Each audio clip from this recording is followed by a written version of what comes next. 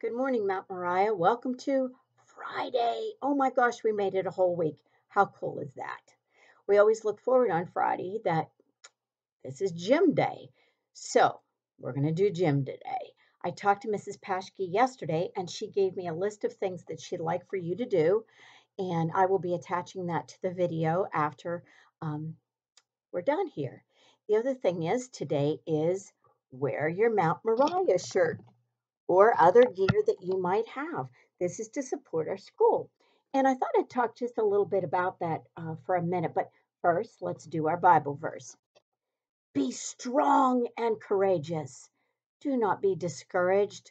Do not be afraid, for the Lord your God will go with you wherever you go, or you are in our case. And that's from Joshua 1 9. Do you have that verse pretty well hidden in your heart? Good because that's the purpose of learning Bible verses is to hide them in your heart.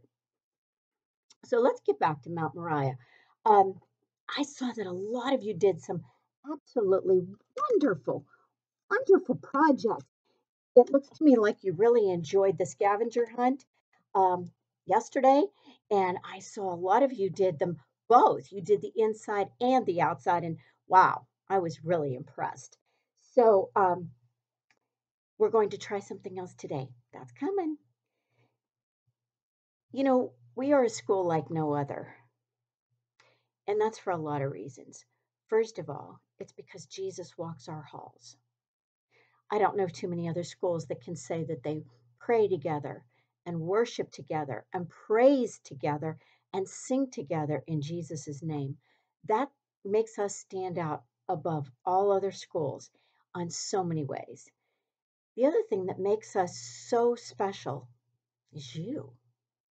Your parents, the staff. Do not think for one minute that God did not bring you specifically to Mount Moriah for a purpose, for a reason, and at exactly this time. He knew we were going to need each other, so He put us all together, specially designed. That was His plan. It was His plan from the beginning of time. And I think that's a really cool thing about Mount Moriah is that we're not just a group of people thrown together.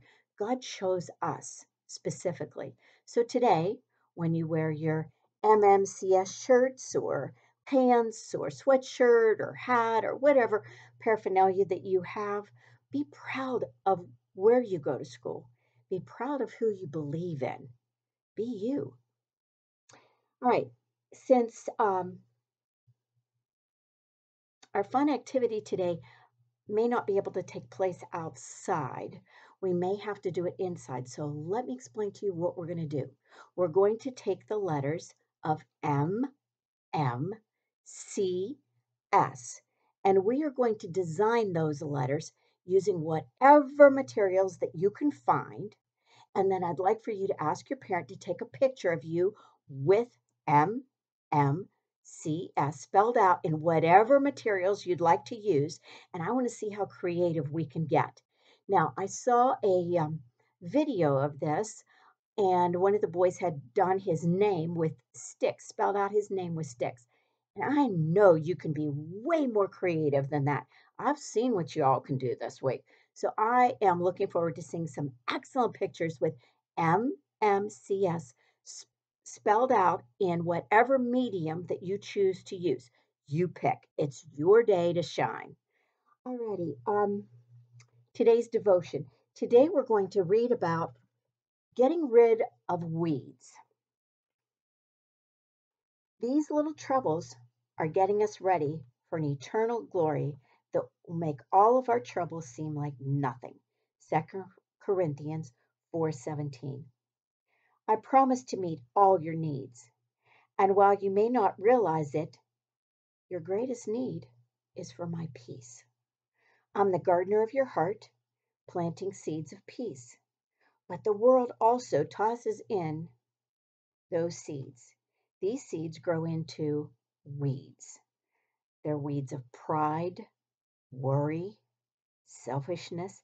And if these weeds aren't ripped out quickly, they're going to choke out all your peace. I get rid of these weeds in many different ways.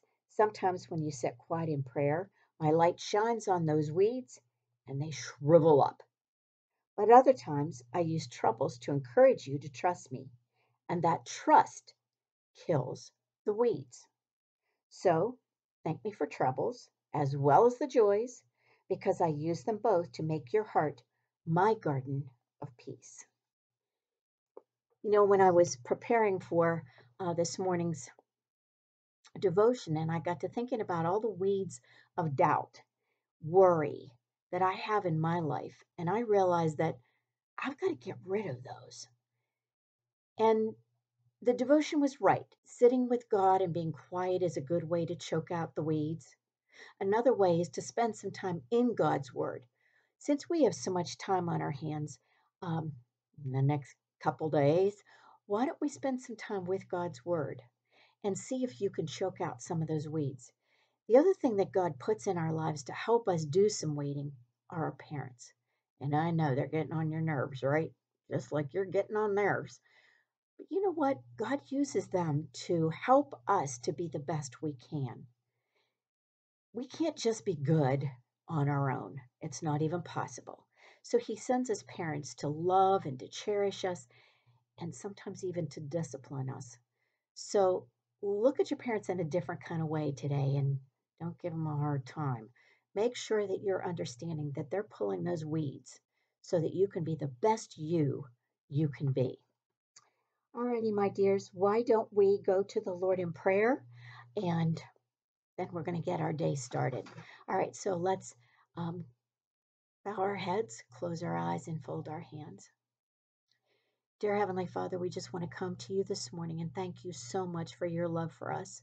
Sometimes we sure do take it for granted, and sometimes we don't realize that the things that you've put into our lives are for a very good reason. And Lord, I especially want to thank you today that you put us at Mount Moriah for a reason, for a purpose. Lord, I thank you for each and every person that walks through those doors. Lord, each one of them are special in your sight, and they are, um, it's a plan for them to be there, Lord. We know that, and and they bring to us so much. Lord, I just want to thank you for them today. Lord, I also want to thank you for the creativity of these kids. Oh my goodness, you've made them so special. And today, as we're thinking about weeds and doing our best and accepting discipline when we need it, Lord, we just want to thank you for that too. And we thank you for sending us special parents that are going to help us be the best we can be. Lord, we're going to give you this day and ask you to bless it up real good. In Jesus' name we pray. Amen. So, kiddos, as we close, I just dropped my papers. Hold on just a second. Okay, as we close, I wanted to, uh, to remind you, first of all, that your teachers and I love you. We miss you. We can't wait to see you. Um, this is a difficult time for all of us, but hey, we can do this. I'm going to ask you to just, over the weekend, stay safe, stay well, be good, have some chocolate today, because after all, we would be buying candy bars today. And when you have that candy bar, think about your teachers because I don't know one of them that doesn't like chocolate. So think about them today. Hey, um, I'll see you again on Monday. We'll have a new set of activities, we'll have a new team spirit, and we'll select a new Bible verse. So until then, and until I see you again, love you all. Take care. Have a blessed weekend. Bye.